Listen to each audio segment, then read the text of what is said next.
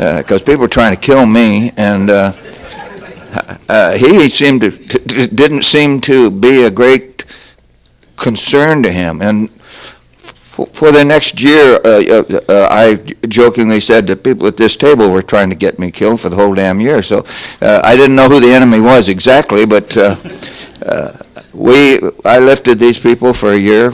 Uh, I, I w- w- felt wonderfully uh, given a, a, a wonderful opportunity to do so. We trained with them. That's one of the things that made made that uh, combat really effective. Uh, one of my aircraft that was supporting this on that day uh, disappeared on the 28th of December, and we've never found them.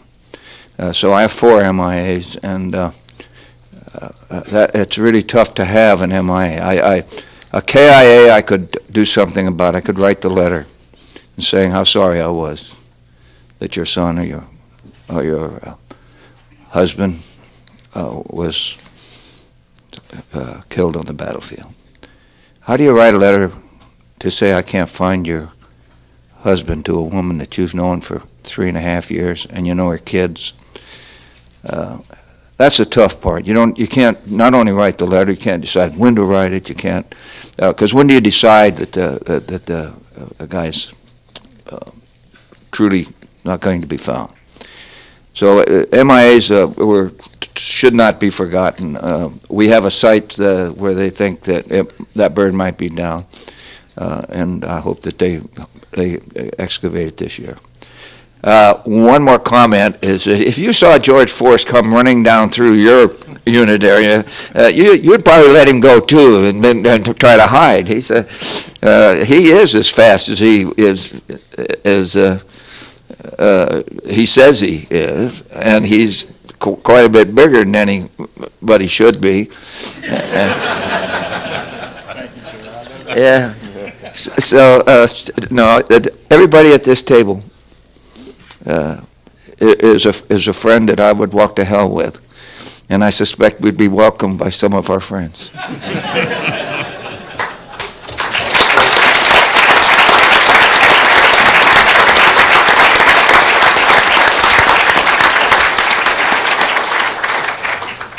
Now, if there are some in this room who have not read the book and haven't seen the movie and need a little precis of the battle itself, raise your hand. Let me do a count. There's one, two, three, four, five, six, seven. Shall I? I, I think that we're just gonna go by the majority rules and throw it open to questions instead.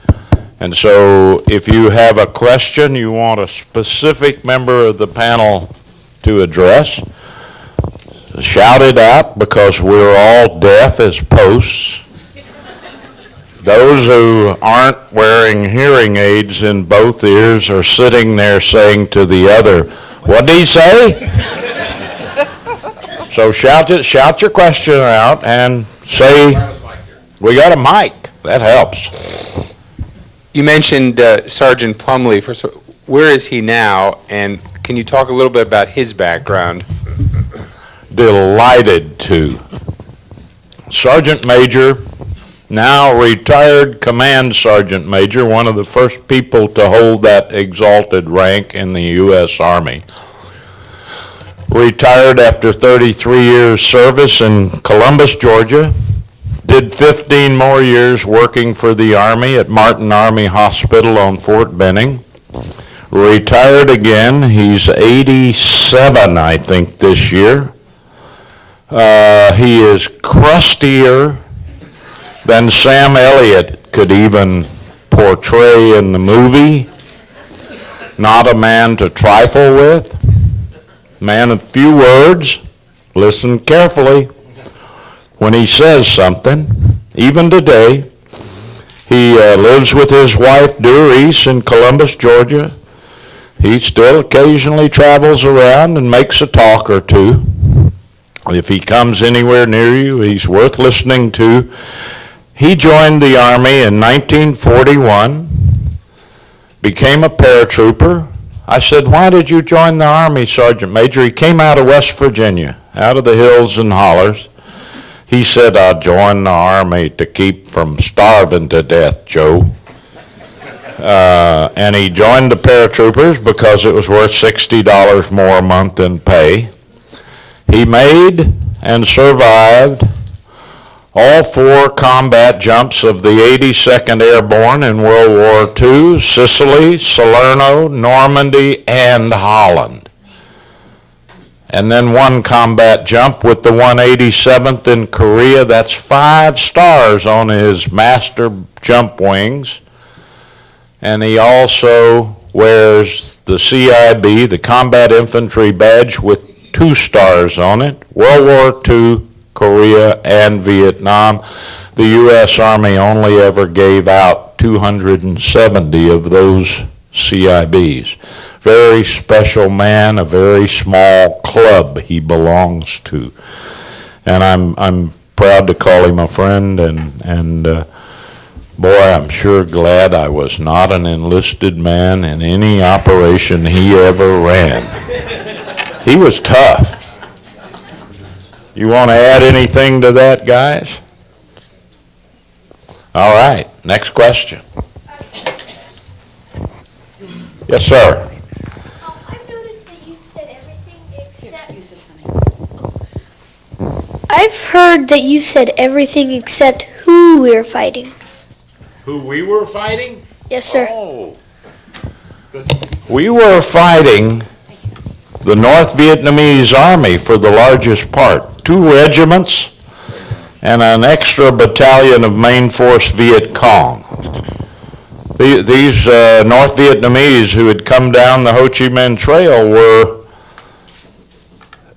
you know, beh- besides the 1st Cavalry Division, the finest light infantrymen in the world.